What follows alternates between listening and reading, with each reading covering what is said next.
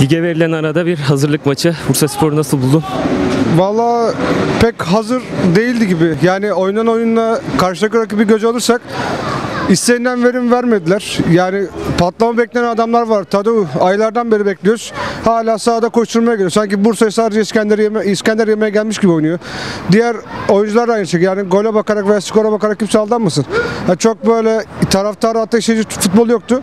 E İnşallah hani lig maçlarında biraz daha ateşlenirler. Biraz daha hani lig maçı olduğu için daha ciddi alıp o şekilde hareket edebilirler. Bursaspor biraz zayıf kaldı Çanakkale Dardanel karşısında. Ligde de bu şekilde oynarsa zaten işi bayağı bir zor olacak. Yani bugünkü oynanan maçta hiç verimli olmadı. Arkadaşı da dediği gibi Tadu zaten hiç iyi değildi bugün. Ligde inşallah daha iyi bir şekilde oynayacaktır. Bütün ümidimiz bu. Ee, Bugün oynanan yani eski oynanan topçulardan e, hiçbir şey görmedik yani biz. Ee, Bursaspor bugün pek fazla bir şey yapamadı, kendini gösteremedi. Karşımızdaki takım ikinci lig takımlarından biri. O yüzden yani bir şey göremedik biz Bursaspor'da bugün. Çok ağır bir top oynadı.